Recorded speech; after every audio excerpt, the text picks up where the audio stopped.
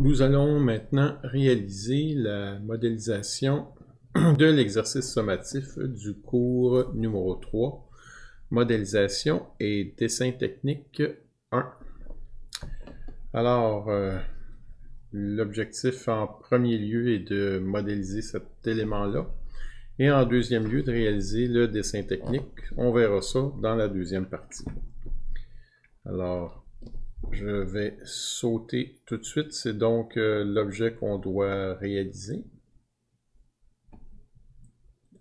On va le titre ici. Euh, pour ce faire, on va s'aider des cotes qu'on obtient dans le livre de dessin technique, page 226, figure 748. Et si vous n'avez pas le livre avec vous, eh bien, j'ai fait une reproduction ici même. Alors, euh, ça, c'est bien. Et je vais commencer immédiatement. Je vais juste, moi, me placer le dessin euh, plus confortablement. Je peux donc commencer. Alors, euh, on va fermer euh, cette page-là de SolidWorks. J'ai réalisé. On va le refaire. Je ne vais pas enregistrer cet élément-là. On va faire nouveau. On constate que les dimensions sont en millimètres. Alors, je sélectionne et je vais commencer par le plan de face.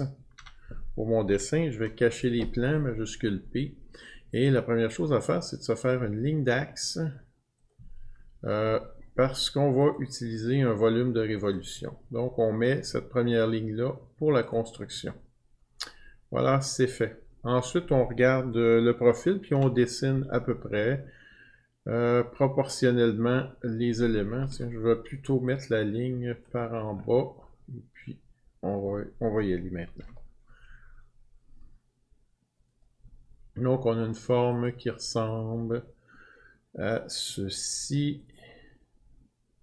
Comme ça, le premier petit rayon dans le coin, je ne le mettrai pas, mais le deuxième, je vais le mettre et vous allez constater, c'est un rayon de 6 qui part perpendiculairement. Alors, la technique habituelle, je demeure sur les lignes, je m'en vais sous mon point et je ressors perpendiculairement.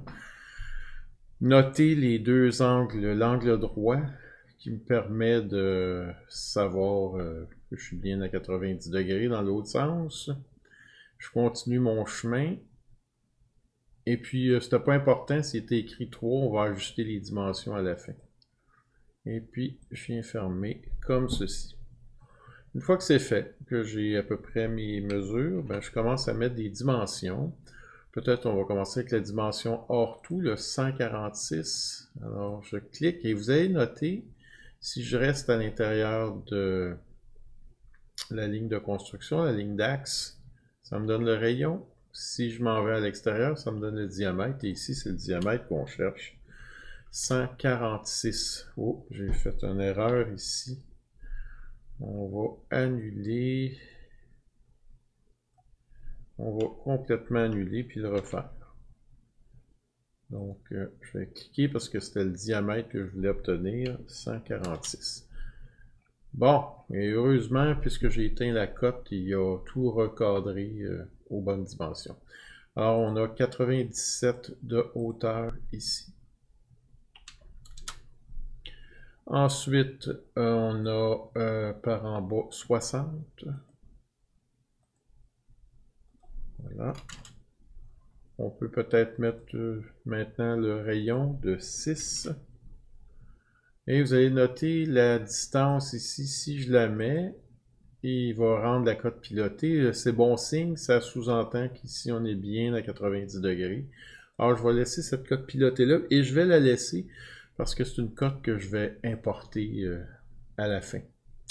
On va aller chercher maintenant le diamètre extérieur. Vous allez noter, peut-être un petit peu difficile à voir, le tube qui est ici est aligné avec celui-là.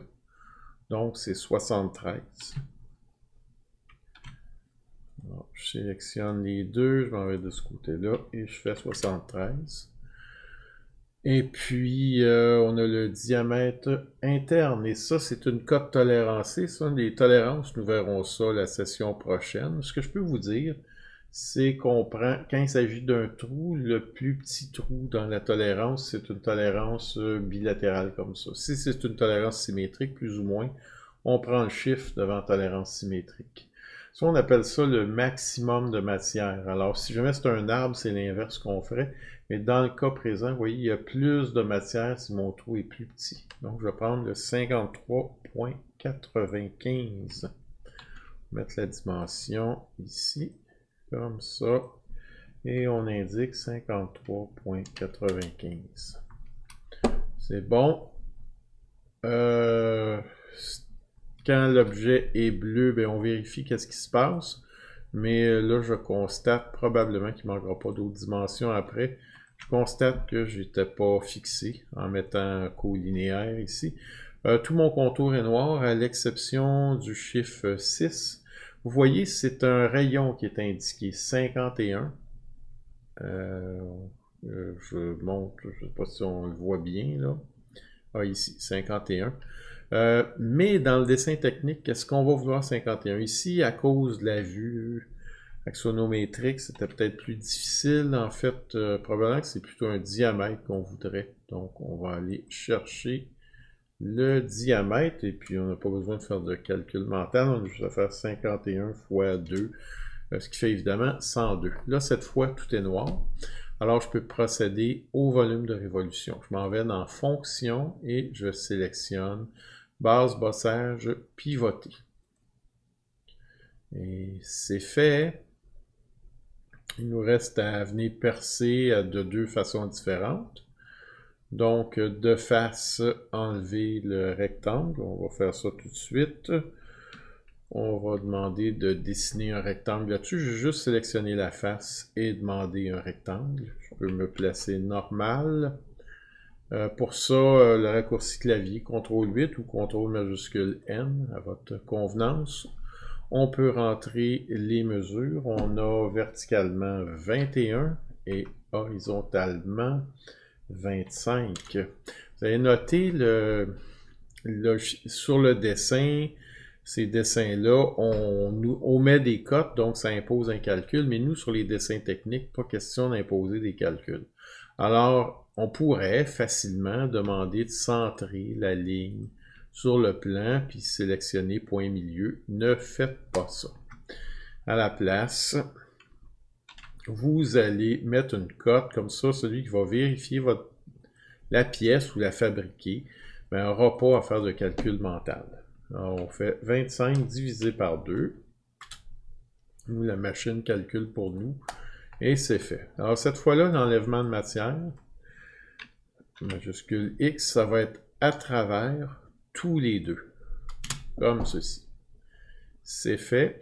Il y aurait différentes façons de faire l'enlèvement de matière sur le dessus. Je vais vous en proposer une.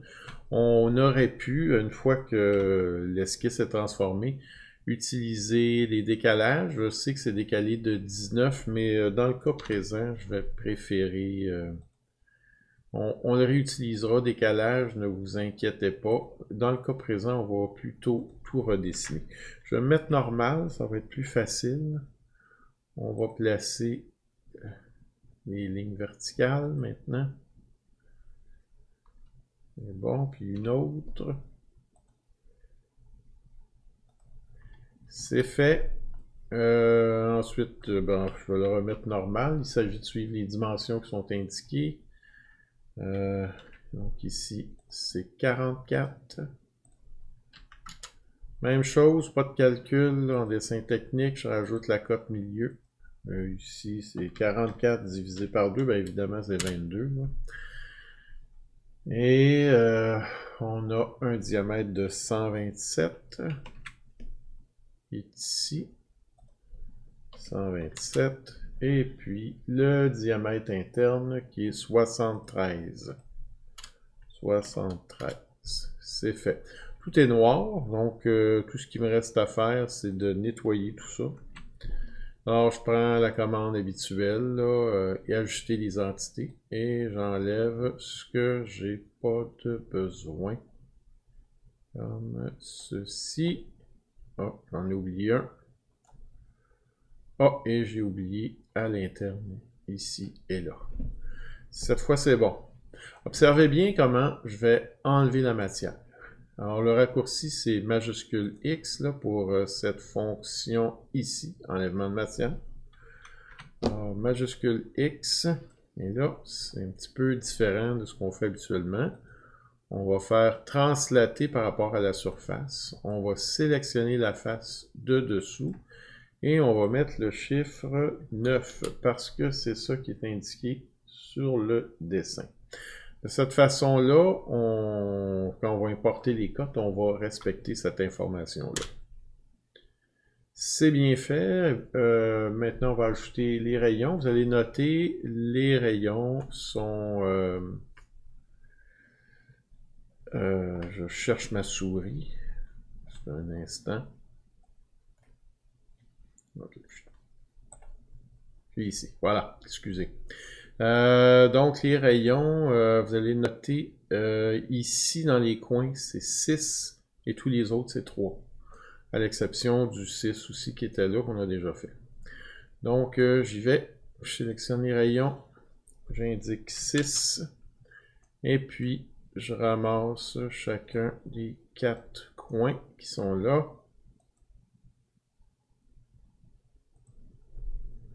C'est fait. Et les prochains rayons, c'est 3. Alors, je sélectionne là-dessus. Cette fois, je change pour le chiffre 3. Et puis, j'ajoute les coins manquants ici. J'ai fait, sélectionné les fonds. C'est beaucoup plus rapide. J'ai pas besoin de faire les contours.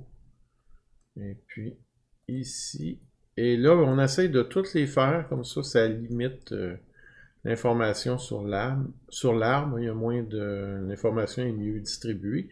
Et si vous en oubliez une, comme par exemple, si j'oublie de faire le coin qui est ici, on va l'oublier intentionnellement. Voilà, puis que je me rends compte après coup que j'aurais dû l'ajouter, mais c'est pas compliqué. Vous n'avez qu'à redemander à éditer la fonction, et puis vous l'ajoutez par après tout simplement. Comme ça, ça demeure sur l'arbre plus simple. Euh, on a presque fini notre modélisation. Il nous reste à faire deux trous d'un diamètre de 9 sur une profondeur de 9. Et puis, observez le rayon ici, R43. Euh, c'est ce qu'on appelle un cercle de boulonnage. Euh, je ne suis pas sûr habituellement si on ne met pas plutôt un diamètre. Moi, je vais préférer un diamètre. Alors, pour les trous, euh, comment on procède? Sélectionnez toujours la face plate sur laquelle vous allez percer les trous. C'est moins critique qu'avant. Le logiciel est amélioré à cet effet-là, mais c'est beaucoup plus simple de procéder comme ça. Une fois que la surface est sélectionnée, cliquez sur Assistant pour le perçage. Soyez attentif, ça ne tombera pas au bon réglage du premier coup. Moi, c'est parce que je viens de me pratiquer, là, mais on sélectionne perçage. Ensuite, euh, probablement qu'il va être réglé à un SI inch. Choisissez ANSI métrique. Ensuite, vous choisissez taille de perçage, très important. Et puis, le diamètre, on va aller le chercher, il s'en vient. 9 mm. C'est fait. Notre trou borgne, 9 mm. Et puis, vous prenez profondeur jusqu'à l'épaule. C'est ce qui est standard. Euh, il est possible que fraisage va être cliqué. Vous le décliquez. Ici, on veut un trou ordinaire. Et puis, une fois qu'on a fait ça, on va à position, puis on vient cliquer un trou, deux trous. Une fois que c'est fait, vous pouvez maintenant dessiner un cercle. Alors, j'ai juste sélectionné un cercle dans les esquisses. J'ajoute cela. Le diamètre, c'est 43 fois 2. C'est fait. Et puis, on donne des propriétés géométriques au trou. Par exemple, je sélectionne les deux centres des trous, mon origine, et puis je sélectionne vertical dans le cas présent. L'orientation qui va nous suggérer, c'est celle qui est la plus près. Et puis finalement, mes trous, je vais les mettre tout simplement coïncidents au cercle de boulonnage. J'en prends un, j'en prends deux. Habituellement, on va dessiner côté à partir de cercle de boulonnage euh, quand il y a plus que deux trous. Mais là, on va le faire pour deux. Alors, je vais accepter et cette fois, j'ai terminé. On vérifie bien le dessin. Euh, s'assure, on fait le tour avant de le remettre et puis euh, ben, en fait on va faire le dessin technique avec au prochain coup. Vérifie, voyez nos trous là, ont bien une belle cuvette, là, ça ça va être pénalisé. Là. Ceux qui n'auront pas fait les trous de cette façon-là, ben oui, vous allez perdre quelques points. Euh, mes rayons sont tout là, je suis satisfait. Alors, ben, je vous dis bon travail. Euh, essayez de bien réaliser cette partie-là et on se revoit pour le dessin technique. Merci beaucoup.